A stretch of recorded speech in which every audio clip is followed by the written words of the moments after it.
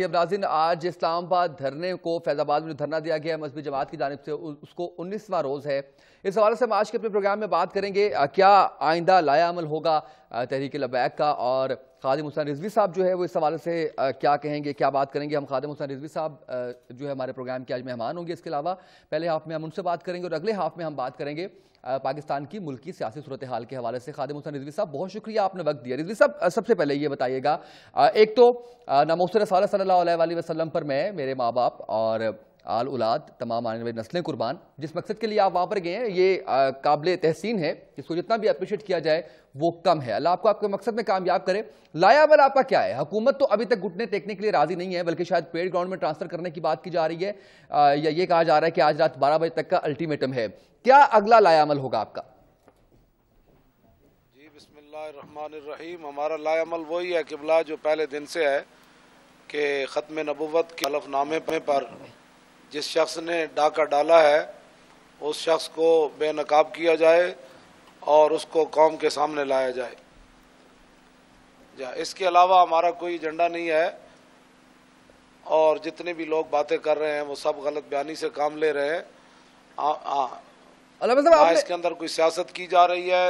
جی۔ آپ نے آپ نے سے خود فرمایا کہ جتنی باتیں کی جا رہی ہیں وہ آ رہی ہیں وہ ساری کی ساری باتیں اس میں کوئی حقیقت نہیں ہے۔ کیوں اتنا تنقید کا نشانہ بنایا جا رہا ہے آپ کو؟ آپ ایک اچھے مقصد کے لیے یہاں پر موجود ہیں اور آج انیسواں روز ہے اسلام آباد کی سردی وہاں پر ٹھہرنا اپنی پوری جماعت کے ساتھ صحت کے مسائل دوسرے مسائل۔ اس کے باوجود کیوں تنقید کی جا رہی ہے تمام حلقوں کی جانب سے؟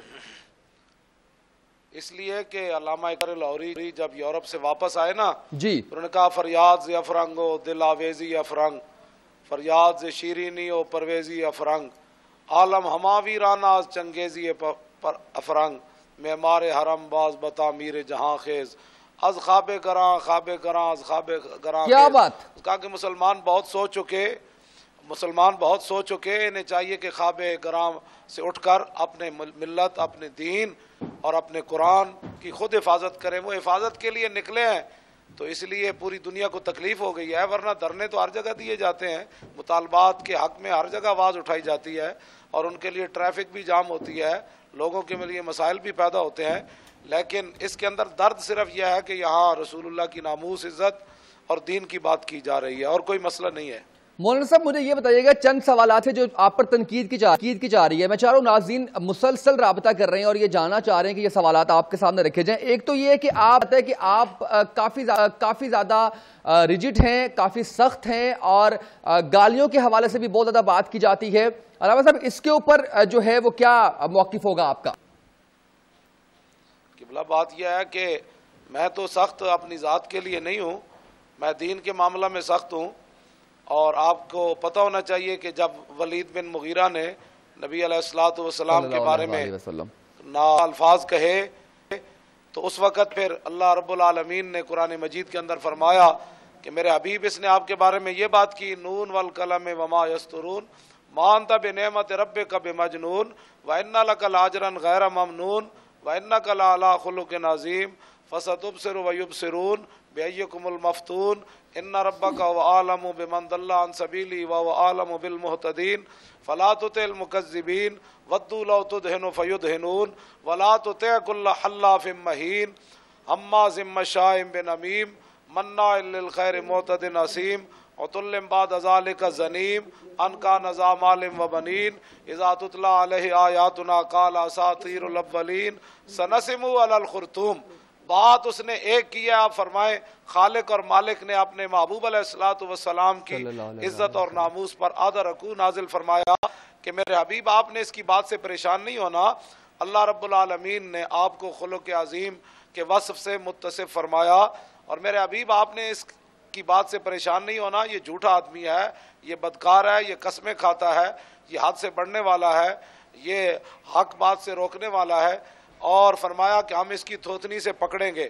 اور پھر فرمایا کہ تلم باد ازال کا زنیم میرے ابھی باپ نے اس سے پریشان نہیں ہونا یہ تو اپنے باپ کا بھی نہیں ہے۔ صحیح۔ اب بتائیں اس سے بڑی کوئی بات ہے بالکل ٹھیک۔ کہ جو آدمی حضور کے بارے میں اس نے ایک جملہ کہا اور اللہ رب العالمین یہ کیا اللہ رب العالمین کے بارے میں لوگ کیا بات کریں گے کہ اللہ رب العالمین کو پھر کس انداز سے قرآن میں نازل فرمانا چاہیے تھا؟ یہ مسئلہ۔ اچھا رضوی صاحب اب مجھے یہ بتائیے گا کہ سننے میں یہ آ رہا ہے کہ آخری وارننگ بھی دے دی گئی ہے پانی بھی بند کر دیا جائے گا۔ اس صورتحال کے اندر کیسے جو ہے وہ آگے چل کیا لایا اللہ بڑا اللہ بڑا وہ سبحان اللہ سنتے تھے کہ کربلا والوں کا پانی بند ہوا۔ اب وہ ہم لذت لینا چاہتے ہیں کہ پانی بند ہو تو حق بات کیسے کی جائے؟ اچھا الزامات الزامات ہم بھی منتظر ہیں بارہ اچھا الزامات بھی بہت لگ رہے ہیں۔ رضوی صاحب کہا یہ جا کہا یہ جا رہا ہے کہ پاکستان مسلم لیگ نون خود دھرنا کروا رہی ہے آ رہی ہے تاکہ لانگ مارچ پاکستان تحریک انصاف کا آ رہا ہے اس کو سبوتاج کرنے کی اس میں کوئی حقیقت ہے؟ حقیقت ہے یا صرف تنقید برائے تنقید کی جا اللہ رہی کی ہے پناہ اللہ کی پناہ جناب ہم صرف رسول اللہ صلی اللہ علیہ وسلم کی۔ ختم نبوت کے لیے بیٹھے ہیں۔ ہمیں نہیں پتا کون آ رہا ہے کون جا رہا ہے۔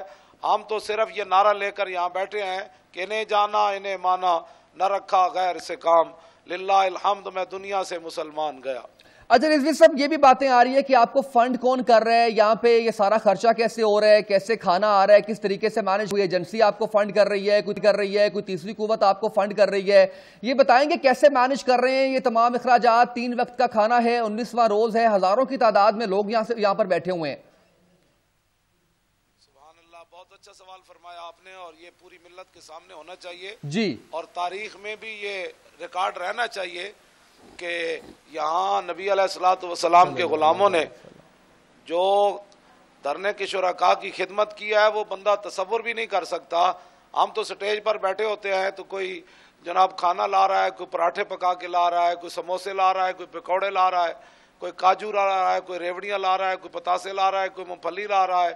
کوئی سبز چائے لا رہا ہے، کوئی جناب کیلے لا رہا ہے اور کوئی سیب لا رہا ہے اور کوئی کہہ رہا ہے کہ دس ہزار بندے کا کھانا میں صبح کو لاؤں گا، کوئی خیمے کا ٹرک بھر کے لا رہا ہے، کوئی کمبلوں کا ٹرک بھر کے لا رہا ہے، کوئی سویٹروں کا اور کوئی سوٹ یعنی کپڑے لا رہا ہے بارہ سو بندے کے کہ آپ ان میں تقسیم کریں۔ اب بتائیں یہ کون کر رہا ہے؟ ہمیں، مجھے تو پتہ ہی نہیں۔ ہاں یہ بات ضرور ہے کہ جب میں سٹیج پر ہوتا ہوں تو کوئی دھرنے سے اٹھ کر مجھے پانچ ہزار میری جھولی میں رکھ دیتا ہے، کوئی دس ہزار، کوئی پچاس ہزار۔ کوئی لاکھ روپے لکھ- رکھ دیتا ہے میری جھولی میں، جب میں نیچے اترتا ہوں تو لاکھوں روپے میری جھولی میں موجود ہوتے ہیں۔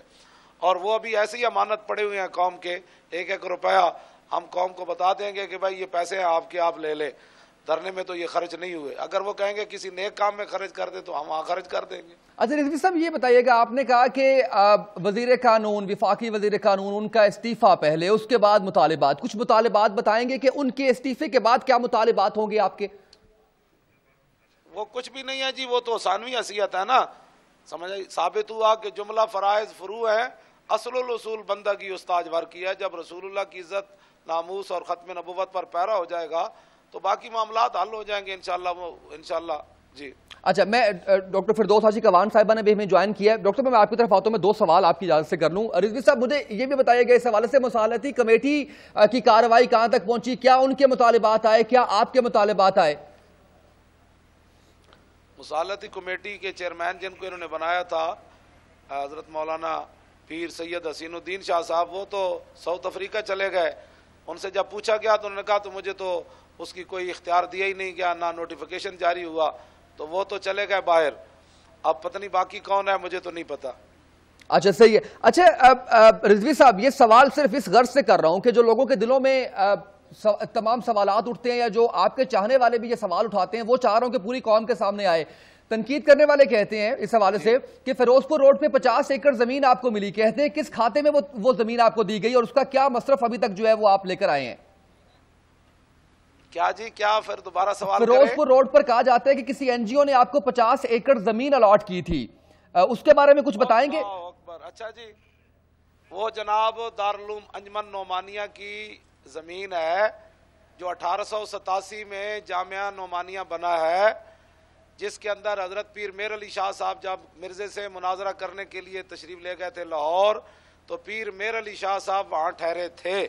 علامہ اقبال بھی اس مدرسے کے سالانہ جلسوں جلسوں میں حاضر ہوتے رہے ہیں۔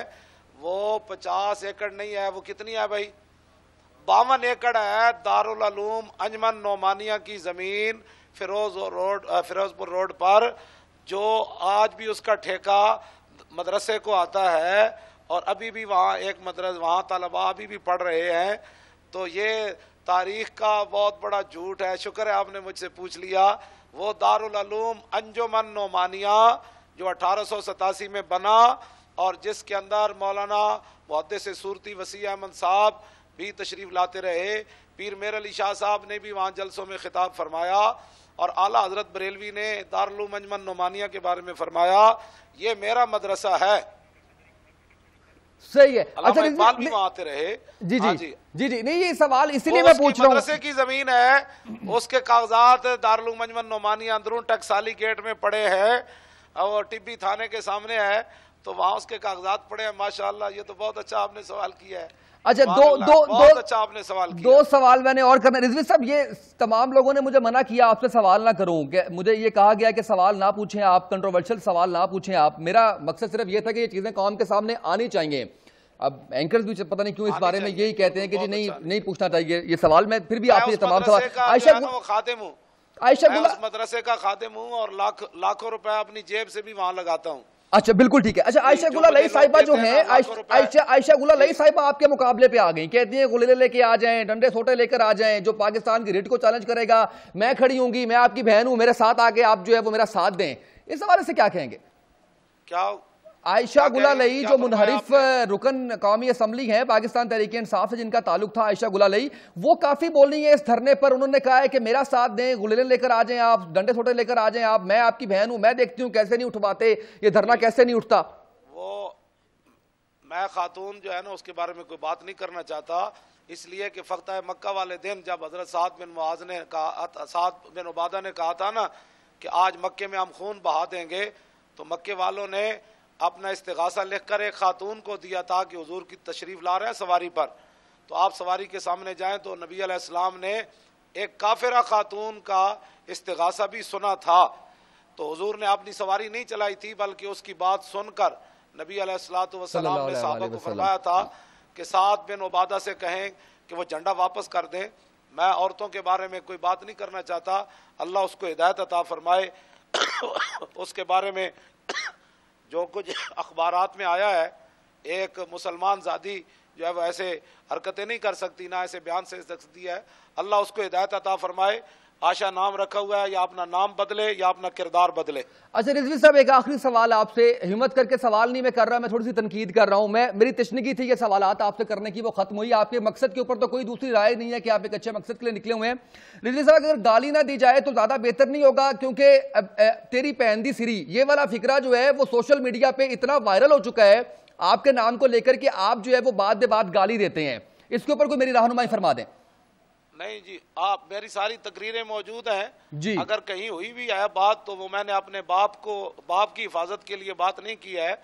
میں اس پر آپ کے ٹی وی پر کبھی آپ مجھے بلائیں جی۔ تو میں آپ کو کم از کم کوئی پچاس ساٹھ کے قریب حوالے دے دوں گا کہ جب حضور کی عزت پر بات آئی ہے تو پھر صحابہ نے کس انداز میں گفتگو کی ہے۔ یہ بہت ساری چیزیں ہمارے پاس امانت ہیں علماء کے پاس۔ ہم قوم کے سامنے نہیں لانا چاہتے۔